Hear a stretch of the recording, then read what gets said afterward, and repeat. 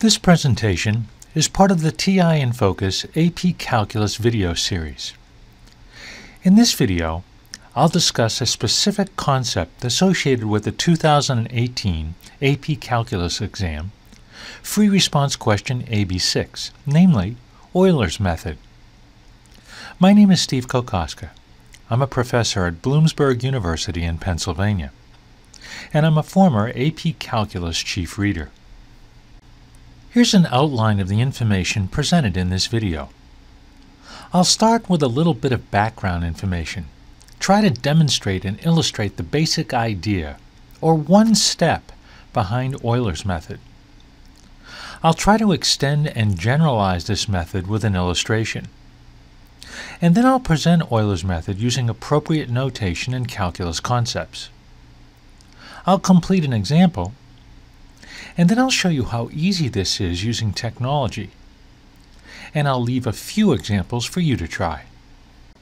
The basic concept used to generate slope fields can be used to find a numerical approximation to the solution of a differential equation. Let's consider this initial value problem.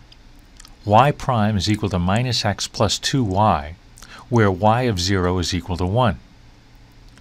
Now, using the differential equation, we can find y prime of 0.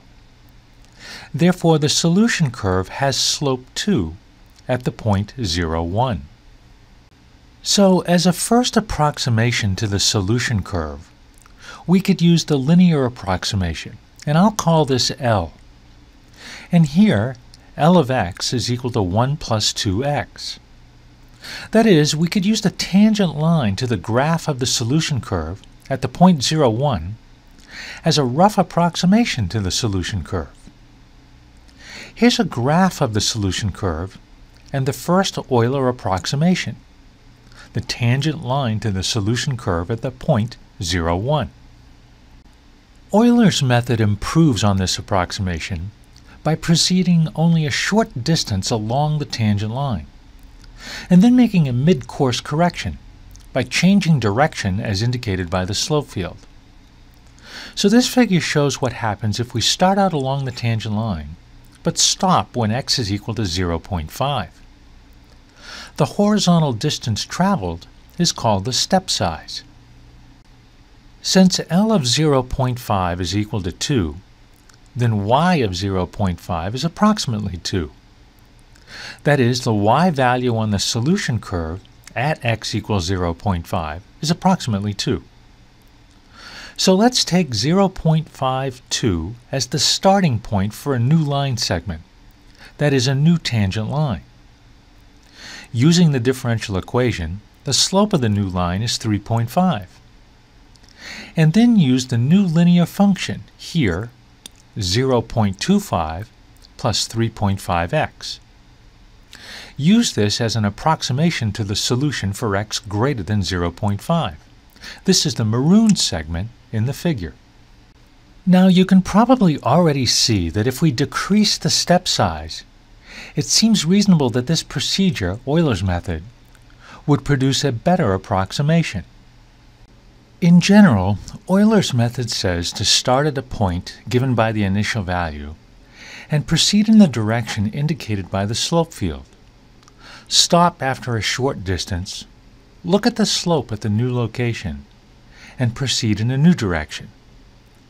Continue stopping and changing or adjusting direction according to the slope field. Now, Euler's method does not produce the exact solution to an initial value problem.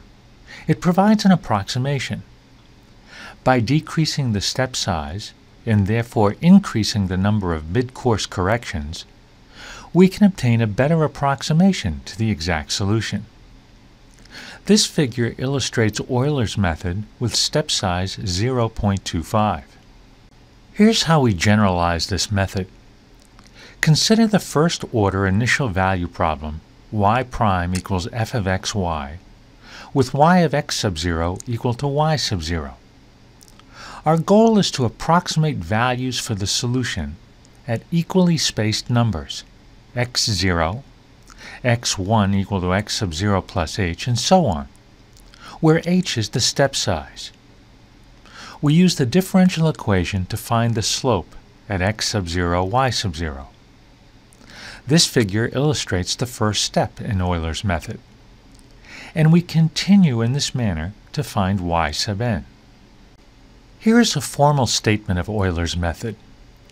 In summary, we can find approximate values for the solution to this initial value problem with step size h by using this formula that we have just developed. And here's a closer look at this method. First, the step size could be negative.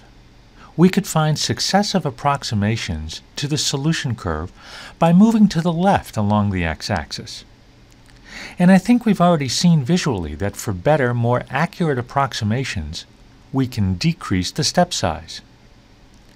And here is some alternative notation that is often used.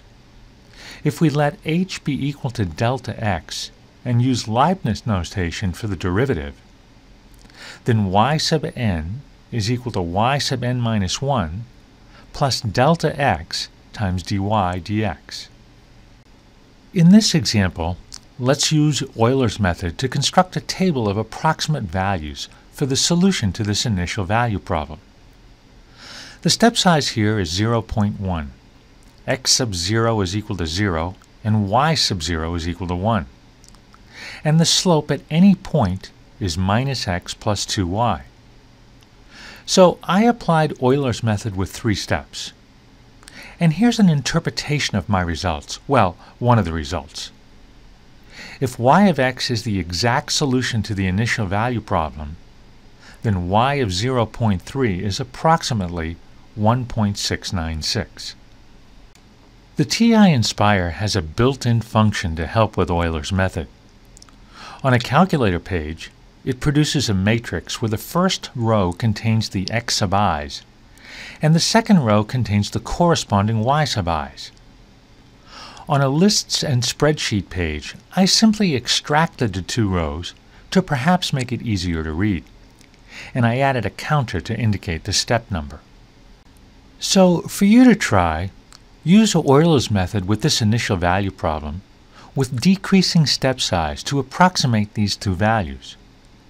And here's a nice conceptual question. What do you notice about these approximations as the step size decreases? Here are two final notes. And just a reminder again, the step size can be negative.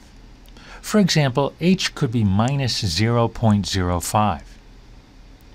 And some people like to use this handy tabular method to find Euler approximations. I think this is pretty logical, and it's convenient to use on the AP Calculus exam, especially on non-calculator active Euler's method questions. Here are some Euler's method practice problems. Now I won't read through all of these, but you might also consider producing the slope field for each problem in an appropriate window. I hope this video provides some insight into Euler's method, a few AP Calculus type problems, and the use of technology to solve and visualize these types of problems. And just a reminder, there are lots of valuable resources on the TI website. There's material there involving technology and calculus, classroom activities, and lots of calculator tips and tricks for test success.